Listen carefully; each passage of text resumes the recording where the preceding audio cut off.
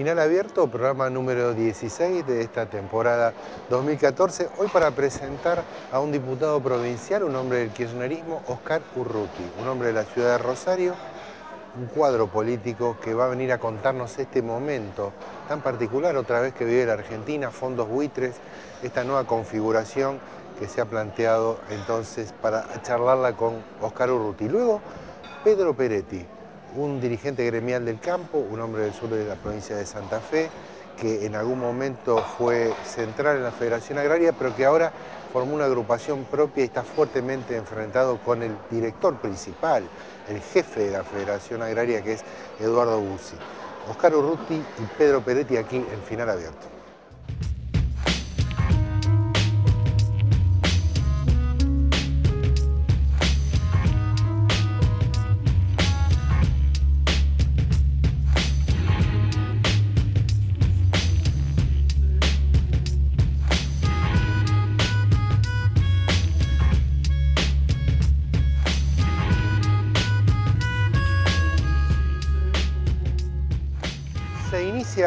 Una, semana muy importante en la Argentina, una discusión acerca de la situación fondos buitre.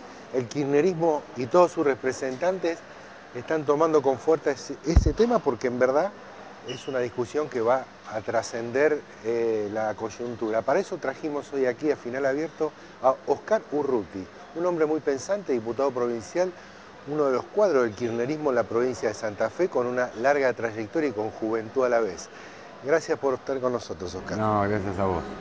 Bueno, un poco esto, ¿no? Eh, la dinámica de la política siempre es la dinámica de lo impensado y ahora lo impensado es esto.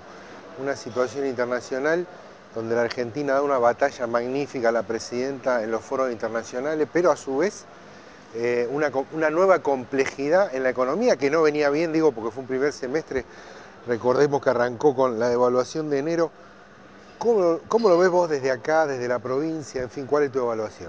Bueno, sí, preocupados este, y a la vez, eh, digamos, con una, con una doble vertiente de la preocupación. Un poco por la situación económica que sin duda esta confrontación que estamos teniendo con este grupo este, especulador internacional, a lo que denominamos fondos buitres, nos genera digamos, como impacto en la economía cotidiana de la gente. Esto sin duda, más allá de la palabra default o no default, lo que trae aparejado es la restricción de aquellos que de alguna manera tienen una pequeña empresa, una mediana empresa, para tomar nuevo empleo.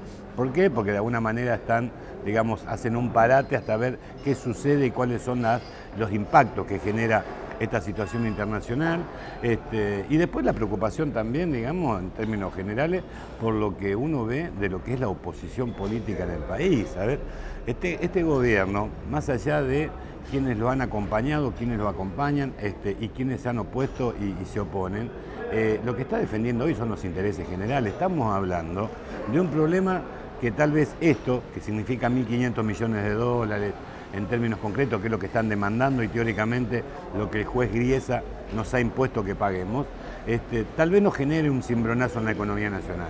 Pero si esto después o posteriormente se transforma en un efecto dominó, donde se caen todos los acuerdos que a través de los canjes se han hecho en esta última década, que realmente han sido totalmente beneficiosos para el país.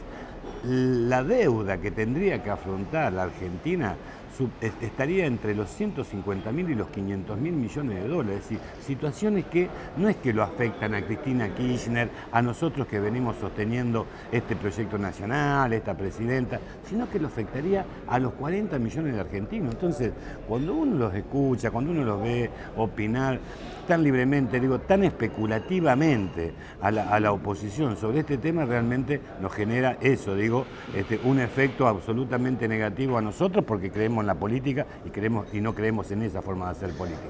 Oscar, uno ve, digo, un, juez incluso hasta regional o, si se quiere municipal como Grecia, que sin embargo es sostenido por la trama del aparato de justicia de Estados Unidos, pueda provocar a Argentina y en general al mundo una situación como esta, nos vuelve aquella, aquella visión del, imperio, ¿no? el imperio realmente aplastando la posibilidad de, países de lo que llamamos el tercer mundo este, que puedan desarrollarse. Es como volver a la, fuente de, la definición de lo que hablábamos hace alguna década atrás, respecto de los males que sufren estos países. ¿no? Parece mentira, pero no, parece otra lectura posible. Sin duda, sin duda, es una cuestión absolutamente atípica.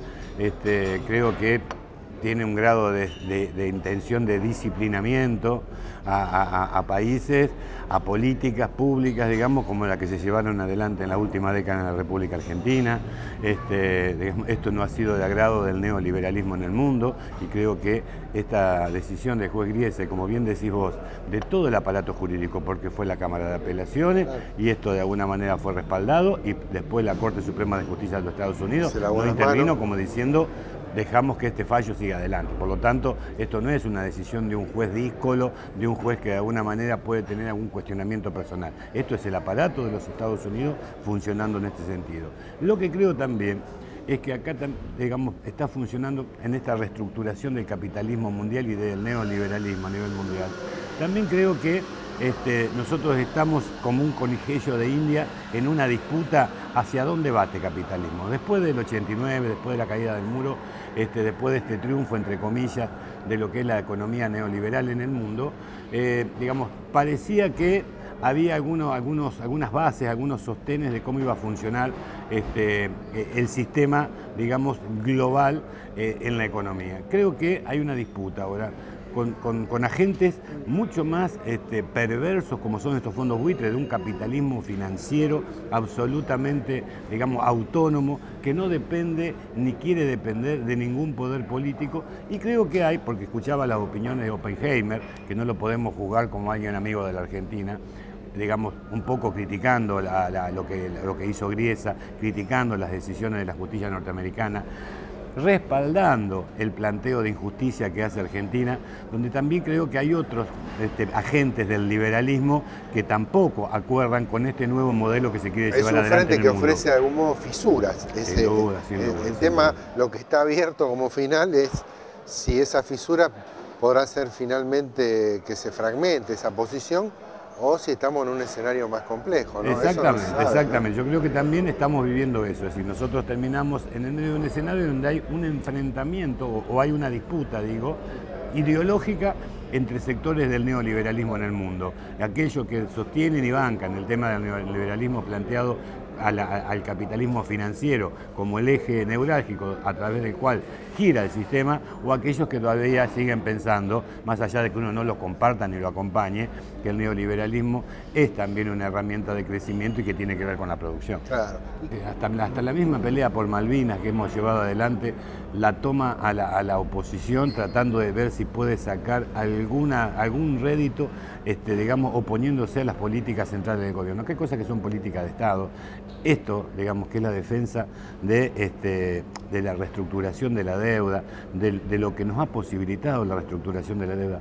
La Argentina ha pagado 160 mil millones de dólares en la última década, digamos, de sus deudas. Hemos pagado la deuda interna, hemos liquidado la deuda que tenía el país con sus propios, digamos, ahorristas, cuando se le fueron, cuando, a través del corralito y posteriormente, de, digamos, del desastre económico, se le arrebataron los ahorros que tenían en dólares los argentinos. Hemos pagado esa deuda interna y estamos pagando la deuda externa.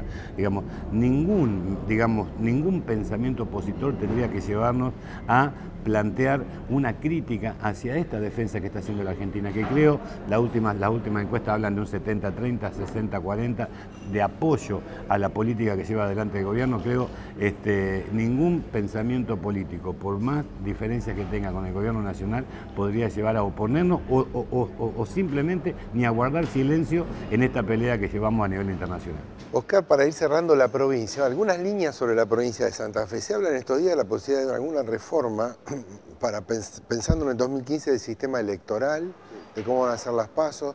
¿Podés explicarnos así sintéticamente los dos o tres puntos que están en discusión y cuál es tu posición de eso? ¿Cómo no? Bueno, el primero que de alguna manera nosotros ya hemos dado nuestra, digamos, hemos anticipado nuestra posición negativa, es que eh, el Frente Progresista, el Partido Socialista y el radicalismo están pensando en modificar la ley de boleta única, este, tratando de atar la candidatura ejecutiva a gobernador y a intendentes con las listas de diputados provinciales y con las listas de concejales. Para nosotros eso nuevamente es volver a plantearle una trampa a la población. Cuando votamos la, digamos, y tenemos críticas sobre la boleta única, pero no es esa. Cuando se planteó la boleta única, justamente lo que se quería era llevar transparencia, que el elector este, tuviera no solamente un nombre, una carita de quién es el que de alguna manera estaba eligiendo para llevar adelante ese cargo. Tanto la lista de gobernador, digamos, por, digamos este, como lista única, era votada y posteriormente podía decidir quién quisiera, quién quería que fueran este, los candidatos a diputados a través también de una figura que estaba integrada, que tenía un rostro, que tenía un nombre y apellido y que la gente optaba, independientemente de aquel que iba eh, a elegir como gobernador, de quién quería que sea. Hoy lo quieren unir. ¿Esto que tiene que ver? Tiene que ver con este, intentar arrastrar la mayor cantidad de diputados a través de alguna figura convocante que es la del candidato a gobernador. La figura la que, la que en la foto es más atractiva. Exactamente, exactamente. Así que nosotros creemos que, bueno, quieren, quieren mover, quieren manipular el sistema electoral para ver si pueden sacar un beneficio, por lo tanto creemos que es absolutamente inconveniente y vamos a defender la boleta única tal cual estuvo consagrado, por lo menos hasta que pongamos en debate eh, el sistema de voto electrónico, que yo creo que es lo único que puede superar esta situación que actualmente tenemos. Eso es un salto para adelante. Creo que el oficialismo lo que quiere hacer con esto es un salto hacia atrás. Respecto a la financiación, también hay un, intento de modificación de la financiación publicitaria estatal, que ha sido una experiencia exitosa. Ha sido exitosa porque le ha dado posibilidades al conjunto. Si no, este, la gente siempre como opciones tiene aquellos que tienen poder económico y que tienen, digamos, banca económica y aquellos que tienen grupos económicos que lo apoyan. Y que dominan los medios, dominan la presencia de los medios. Absolutamente, a través de, esa, capacidad económica de poder adquirir publicidad en los medios de comunicación son los que más aparecen y son los que, digamos, aparentan plantearse como más atractivos hacia la población. Y le agrego un elemento más. Nosotros tenemos que fortalecer la actual ley que plantea la, la prohibición de publicidad privada más este, el financiamiento por el Estado, porque también tenemos una cuestión que se está introduciendo en nuestra provincia, que es el narcotráfico. Sabemos que en otros distritos el narcotráfico ha servido para financiar partidos políticos y posteriormente pedirle favores a los mismos, o para establecer candidatos propios. Bueno, hay experiencia en países latinoamericanos, ¿no? Digamos que esto, esto ya ha sucedido, en todo caso no sería una novedad, hay una lamentable novedad. En países latinoamericanos, en países europeos, por lo tanto nosotros en esto tenemos que ser claros, para poder garantizar que no va a haber una introducción de estos factores absolutamente perversos en el escenario político de la provincia de Santa Fe, tenemos que seguir bancando este sistema de publicidad, que ya se hace a nivel nacional, si este es el sistema que adoptó el gobierno nacional hace ya alrededor de 6, 7 años, con, este, sosteniendo por igual a todas las agrupaciones políticas que quieren llevar candidatos y que de alguna manera también ha, garantizado mayor pluralidad en los sistemas de representación. Bueno, Oscar Urruti, diputado provincial del espacio de Frente para la Victoria aquí en la provincia de Santa Fe, muchas gracias por estar con nosotros. No, muchas gracias a vos por la invitación.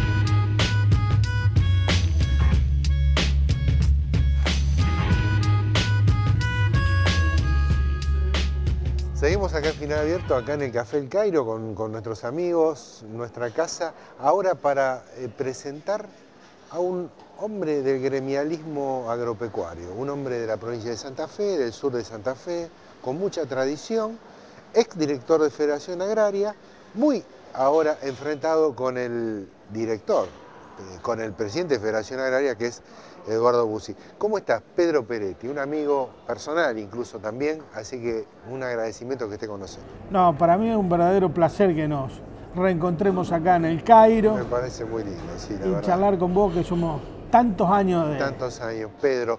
Bueno, la cuestión del campo, sigue la discusión del campo que ha sido una marca política de los últimos años de este gobierno kirchnerista, el campo entrando de lleno en la estrategia de la oposición política a este gobierno, jugando ahí.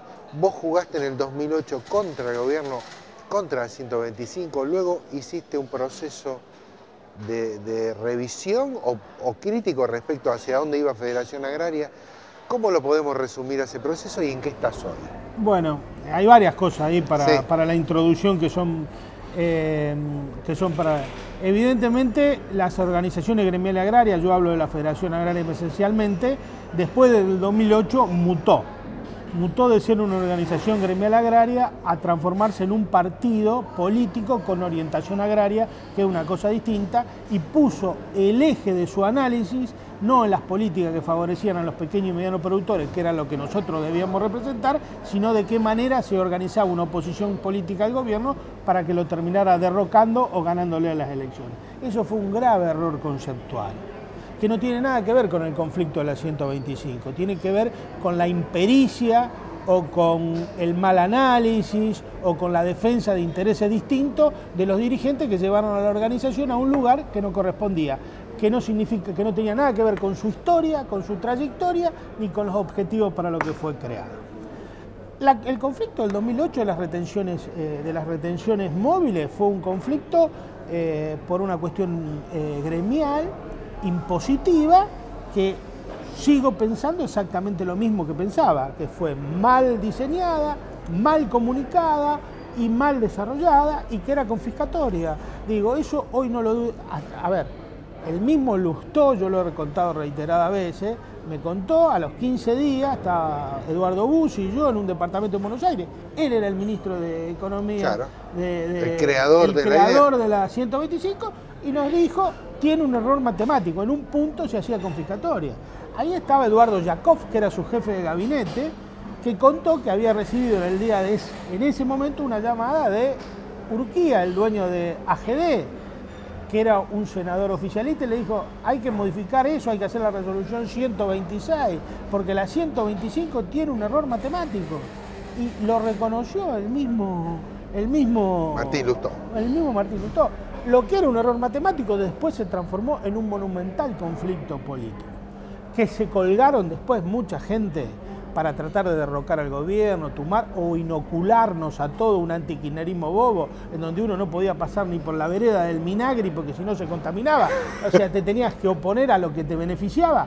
Bueno, ese fue un debate interno de la Federación Agraria que en lo personal lo perdimos, por eso no fuimos. Lo que pasa es que hubo, a ver, hubo un intento del diputado Rossi, de Agustín, de modificar esto.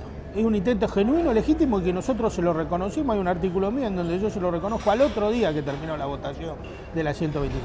Él realmente vio el problema, intentó modificar esta situación y no lo logró porque lo que había, era un conflicto que había excedido toda racionalidad económica, discursiva y que ya se había transformado en una disputa, en otra cosa.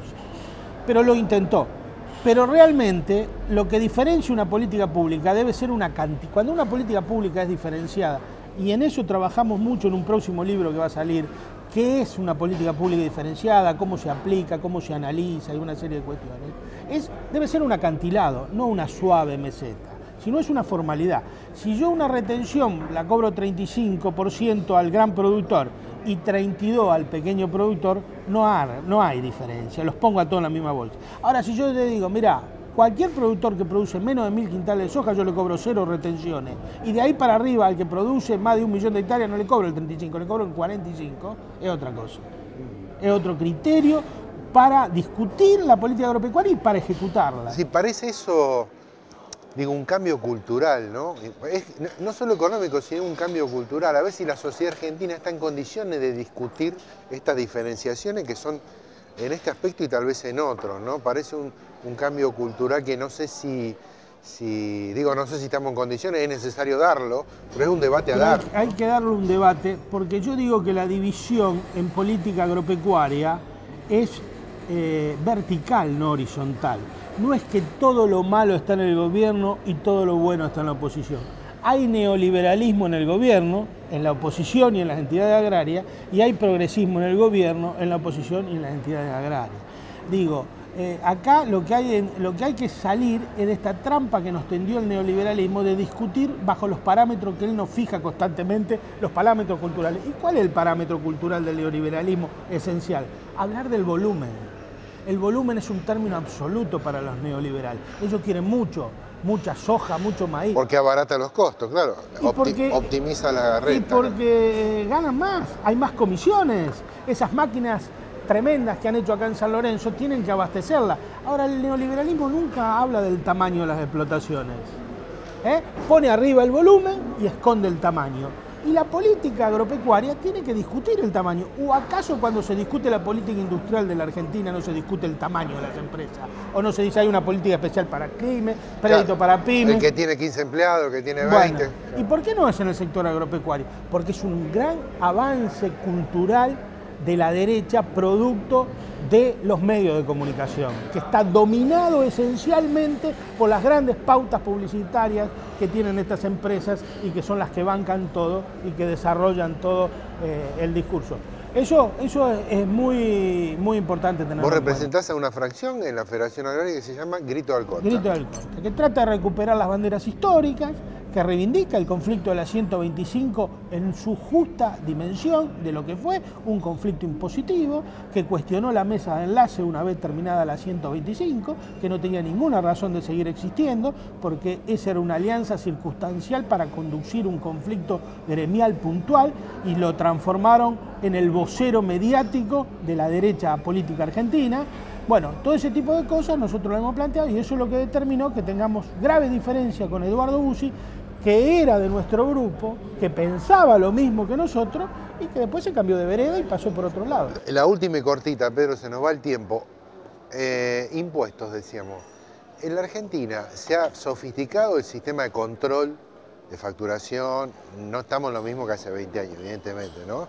La FIP juega un rol más importante. Sin embargo, se dice y a veces se descubre que sigue habiendo un drenaje negro del tema de comercialización de grano. ¿Qué puede decir de eso? Que sin la participación de la FIP no hay comercio negro en la Argentina.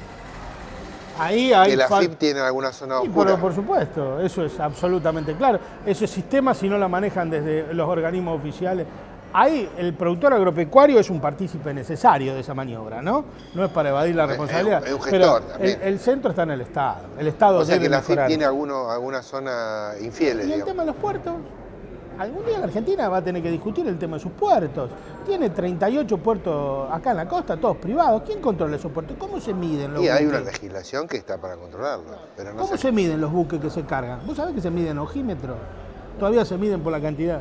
¿Vos te parece que un empleado de la FIP puede estar sentadito ahí en un escritorio y que ese tipo va a resistir un cañonazo de un buque? Es decir, en vez de 50.000 toneladas, poner que fueron 45.000 son cañonazos muy difíciles de resistir. Claro, y poner, con los deditos bueno, Entonces digo, hay que cambiar todo eso. La Argentina debe recuperar, aunque sea empezar por recuperar algún, puesto, algún puerto testigo para ver cuánto es el costo de carga, debe recuperar su flota mercante. Estamos perdiendo 3 mil millones de dólares al año y miles de puestos de trabajo, teniendo los astilleros trabajando al 70% por no tener flota mercante que la privatizó Carlos Saúl junto con este nuevo figura que nosotros tenemos en materia agropecuaria, que se llama Felipe Solá, que parece que hubiera nacido ayer y que no tuviera nada que ver en el desastre que pasó en la década del 90 en el sector agropecuario argentino.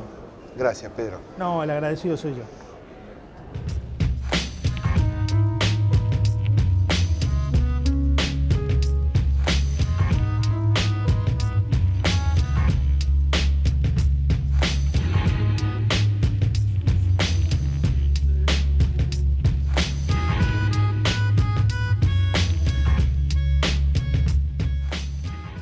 Contundente y muy vistoso y muy sonoro el discurso de Pedro Peletti, este dirigente gremial de Federación Agraria, que tiene su recorrido personal, que estuvo con la 125 con Eduardo Bussi en su momento, pero que ahora hizo un recorrido completamente distinto, que está mucho más cercano a las posiciones de gobierno y tiene una mirada muy interesante respecto de lo que significa la producción agraria, la pequeña escala, lo que significa eso en el la dimensión humana, ¿verdad? También Oscar Urruti, un dirigente kirchnerista, un dirigente de la ciudad de Rosario que nos amplió mucho su mirada respecto de este momento de la Argentina, los fondos buitres.